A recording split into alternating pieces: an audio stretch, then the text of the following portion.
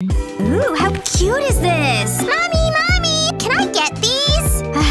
okay. Let me give you some money.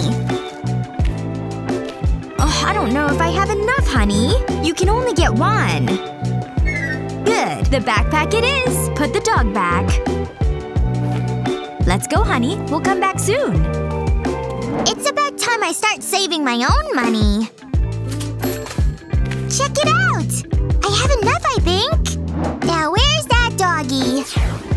You are! You're coming with me!